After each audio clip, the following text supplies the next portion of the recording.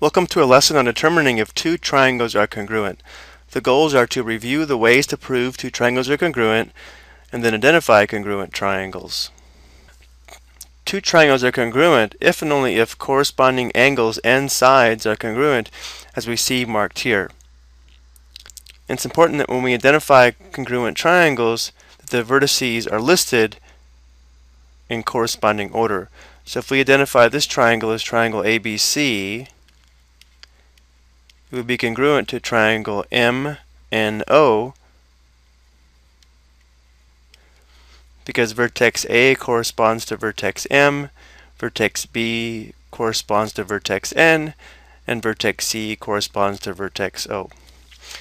When referring to corresponding parts of congruent triangles, it is called corresponding parts of congruent triangles are congruent, or CPC-TC. Now remember from the previous video there are four postulates that can be used to verify two triangles congruent.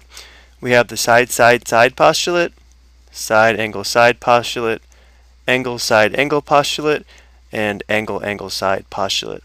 And notice that side-side-angle and angle-angle-angle cannot be used to determine congruent triangles. So let's take a look at our examples. Here we're given a sketch. We want to determine if the triangles are congruent, and if they are, give the reason, and then state a congruence statement. So notice that so notice that we're given that segment AB is congruent to segment DE, and they're also parallel. So if these two segments are parallel, notice that BD and AE would be transversals. And therefore we know that the alternate interior angles would have to be congruent.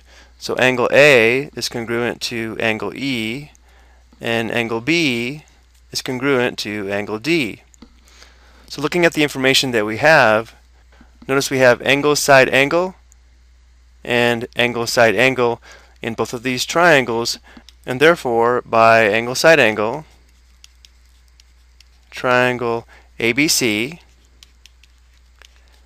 would be congruent to the triangle on the right and again, we need to make sure we list these vertices in the corresponding order. So notice that angle A corresponds to angle E. So vertex A corresponds to vertex E. Angle B corresponds to angle D. So vertex B corresponds to vertex D. And vertex C corresponds to itself.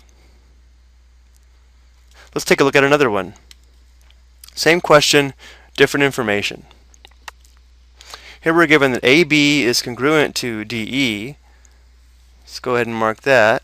And we're also given that C, and we're also given that C is the midpoint of segment AE and segment DB. Well, here's segment AE. So if C is the midpoint, AC is congruent to CE. And if C is the midpoint of segment BD, then BC would be congruent to CD. So by side, side, side, these two triangles are congruent. So we have triangle, let's say ABC. And then again, let's make sure that we list the other triangle so that the vertices correspond. So A would correspond to E.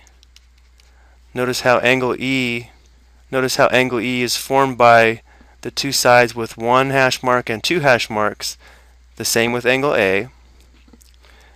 For vertex B, we have angle B formed by the two sides with one hash mark and three hash marks. So vertex B corresponds to vertex D, and then vertex C corresponds to vertex C.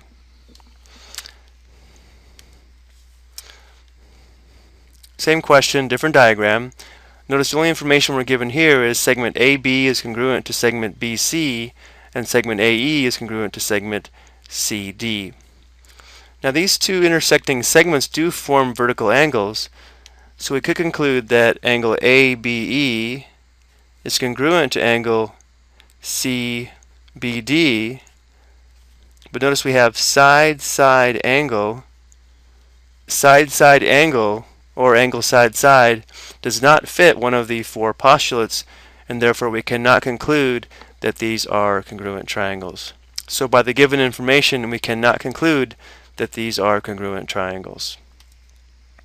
Let's go and take a look at one more example. Notice we're given two pair of congruent sides, and then both triangles share side BD, and of course it's congruent to itself. So by side, side, side, these two triangles would be congruent.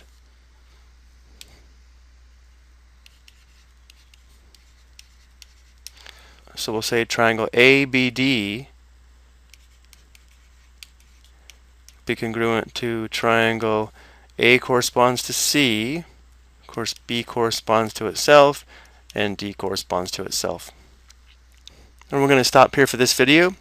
I hope you found these examples helpful.